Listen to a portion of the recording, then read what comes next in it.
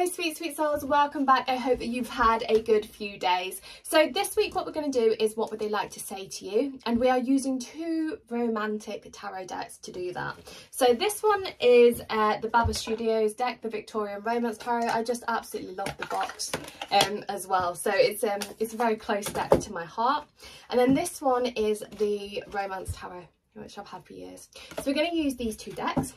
Go to the deck that you are most drawn to not the box, the deck number one, number two. Okay, and what we're going to do is we'll work on the mutual energy between you and everyone watching and your people. And we're going to just ask what they would like to communicate with you if they had the chance. So think about your person for me. And we're just getting into the collective energy of everyone watching. So if you do need me, drop me a message at mysticlovetarot at gmail.com or the info is on the website, mysticlovetarot.com. Okay, let's go. So what would your person, the person you are thinking of, like to say to you right now if they had the chance? And we're really kind of stepping into that present energy, which I quite like. Um, a lot of the time when we do tarot, we tend to look at the future, we look at the past, and the present we, we look at, but it's where you currently are. So when we are looking at what your person would like to say to you, this is right here, right now, as I pull your cards. Um, so it's quite a, it's a very present, present reading, which I do enjoy. Okay, so I'm literally going to stop at full cards. I'm not going to do any more than that. Let's look at the bottom of the deck as well. Ace of Wands at the bottom. So those of you that read tarot, you've got the King of Cups. You've got the Seven of Swords. You've got the Queen of Wands. And we have the Six of Wands at the bottom of these four. And at the bottom of the deck is the Ace of Wands as well. So, where are we going with this? Well, let's start off with the King and the Queen, and in the middle is the Seven of Swords. So, one side of this is your energy. You um, are in the Queen of Wands energy. Your person on the opposite side, opposite side is the King of Cups. And in the middle, we have the Seven of Swords. Now, the Seven of Swords normally speaks of deception, of things that are going on behind the scene that perhaps you aren't aware of. And what I like about it coming up between you both, it is really showing at the moment that, that perhaps there isn't a communication going on between you guys. Neither of you particularly know where the other person is standing. I also feel that your person has got a bit of a brick wall down in front of them. Perhaps they've had a mask on and you haven't been able to see the real them. They've been kind of not acknowledging their emotions. They've been not acknowledging their feelings. We've got a sexual energy with the Queen of Wands. We have an emotional energy with the Queen of Cups and it's, uh, sorry, the King of Cups. But your energies just aren't quite aligning at this moment in time. And this is where the Seven of Swords is coming in the middle. So when we look at him, he's looking towards stuff that's happened in the past. And he's thinking, well, perhaps I could have handled situations better. Perhaps I haven't expressed how I should have been feeling. Um, and the reason why is because I didn't want to feel vulnerable okay so that is what your first the, the, your person would say to you first and foremost is if they haven't expressed to you how they're feeling it's because they don't want to appear vulnerable they also would say to you that perhaps they've come forward on a more sexual perspective, uh, sexual point of view rather than an emotional point of view. And again, it comes back to that vulnerability, your person not wanting to be vulnerable around you. They enjoy the good times. Okay, so they like it when it's happy, but when it becomes a bit heavy or the energy becomes a bit sad, it's like they withdraw from the situation. And again, with the Seven of Swords, it's this kind of mask wearing. They haven't been honest with you about their emotions. They haven't been honest with you about their feelings. Um, and again, it keeps coming back to that state of I'm not going to express how I'm feeling because I appear vulnerable. Now, your person, with them being in the King of Cups energy, they know that you have feelings for them. They know that you have these emotions for them. Um, and so sometimes they can feel that they are playing with emotions here okay so they know that you have these feelings and they know that you have these emotions but they haven't done anything on it because if they do something on it they realize that they have to really come to terms with their feelings on the situation and that blocks it a little bit so they'd say that to you as well. It's not that they don't like you, they do like you, but they are kind of debating whether to take the risks and take the chances with this connection because of fear of being vulnerable. So that is what they would say to you. It's like two, like I said, two opposite ends of the spectrum. You're not meeting in the middle. Now, what I do like about these cards is they're mainly ones. You have one sword, one cups, and the other three are ones. So this is a passionate energy. This is a connection. This has got lots of chemistry. There is definitely a sexual vibe happening between the two of you. Um, and there is chances for this to move forward with the ace of wands and the six of wands kind of coming through at the bottom end of the deck you have this passionate new beginning and you have victory from the situation. So it's like if they have the right amount of time this risk taking where they're scared of getting their heart hurt when they they come to terms with that and realize it's okay to be vulnerable that is when they will give you everything they want. They can uh, everything you want sorry. They can see a future with you. They can see it working out. Um, and there is definitely a transformation happening within this. Now i looked at that and wondered if it was a phoenix but it's not. It's an angel coming down. But it's almost as if the phoenix vibe is still there. This situation is rising from the ashes.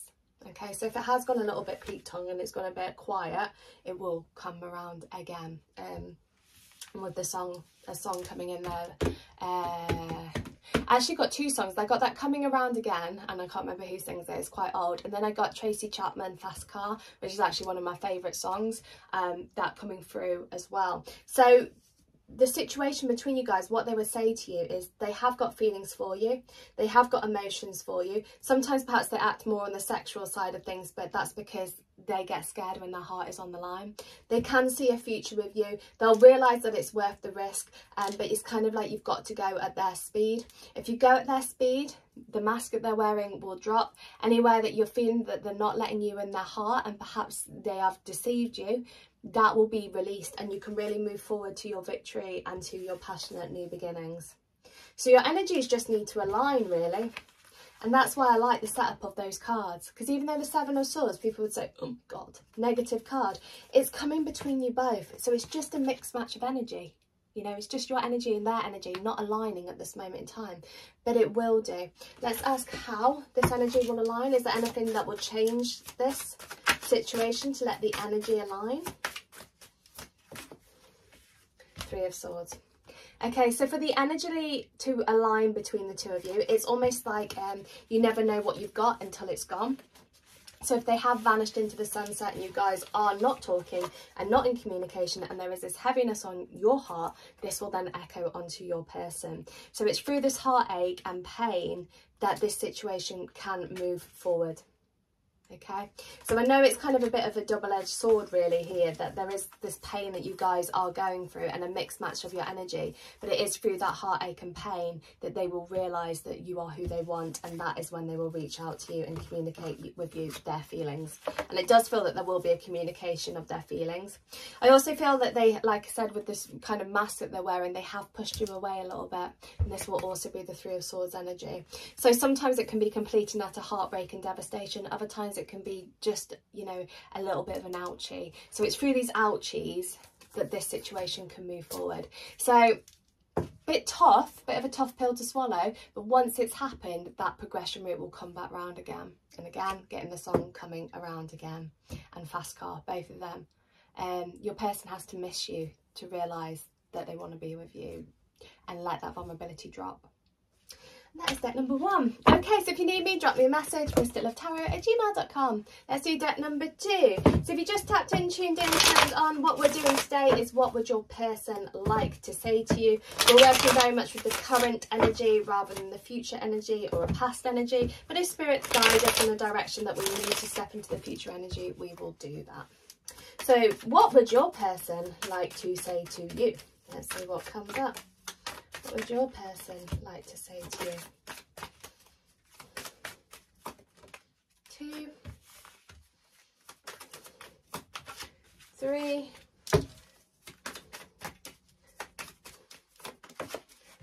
four. I'm going to stop at five. The card's got a different idea. Okay, I'm going to stop at four and I'm going to do, no, I'll stop at yeah, no, it's hand slipping. Okay, I'm stopping at four because the cards have got a different idea. And I'm going to go to the bottom of the deck, which is what I did on deck number one. Okay, so what would your person like to say to you? So let's start off over here at the bottom of the deck. Romeo, Romeo, wherefore art thou Romeo? Vibes coming through over here. There is a love connection between you guys. Uh, there is very, very strong emotions over here. There is um, a beautiful romantic connection between you both. But there is also a transformation happening. So perhaps the situation hasn't been going how you wanted it to. Perhaps it's just not quite worked and you've kind of said goodbye at this moment in time.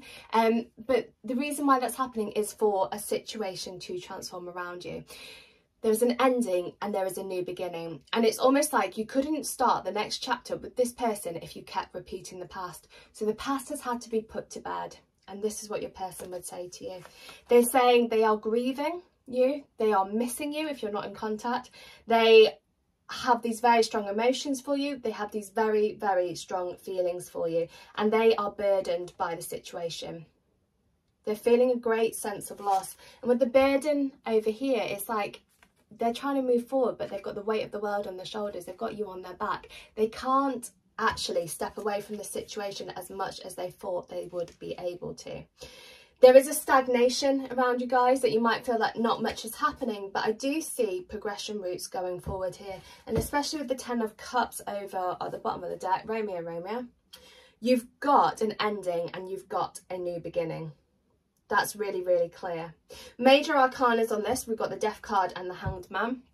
So it's major issues that are going on within the situation. They haven't got over this. They are very, very strong feelings for you and they are just working through their head what they want to do about it all. If you're not in communication, communication is going to come back in. If you are waiting for them to make the moves of saying that you're the love of the life, we're going to be together, that can happen, but it's like it has to transform around you both first. The situation hasn't been working out how you wanted it to. There's been a bit of a uh, spirit saying double-edged sword. Um, it's been a bit icky, icky, sticky. And not much has really happened between you guys in recent times. And so you didn't really know what to do about it. Now, what I find quite interesting here is it seems that one of you will be making a move. One of you is going to be given quite a steady direction and perhaps reach out out of the blue and text and say, hi, how's it going? Not spoke to you for a while or your person will do that as well if you're not in contact. One of you guys is going to make the move forward with this. And when that move is made forward the stagnation around you fades and you move yourselves together. And this is where you've got the balcony and you've got him serenading her. So there is going to be an open communication about feelings. There is going to be a talking about emotions.